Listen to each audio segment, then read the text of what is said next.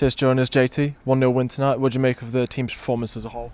Yeah, I feel like we had obviously a lot of players out with a few niggles, so a lot of young lads came in and played in different positions. Like myself, played up top for first time pre-season, um, so it's kind of like shuffling about a bit. But I think we did well first half, just to keep the shape, and was a bit maybe a bit sloppy on the ball. But second half we came at them and was a bit more decisive in the final third. So yeah.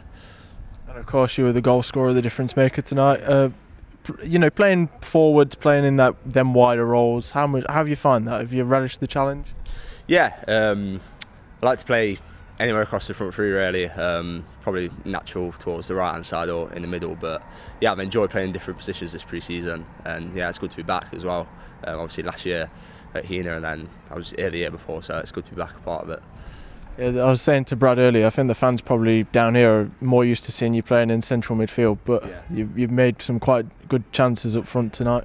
Yeah, I mean, last season um, was a good example of here. You know, I played off the right and then in the middle as well. So I like to cast myself as a bit more versatile um, and not just play centre mid and box myself into that position.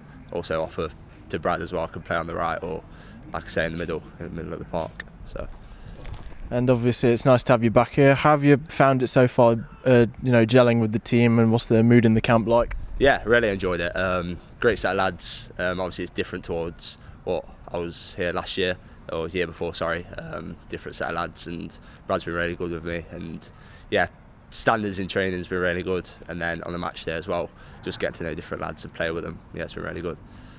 And how much are you looking forward to uh, the Belper Town game coming up next week?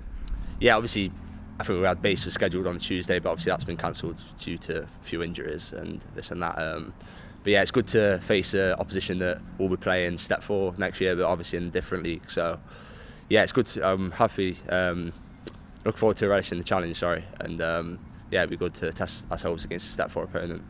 Cheers, JT. Cheers. Thank you.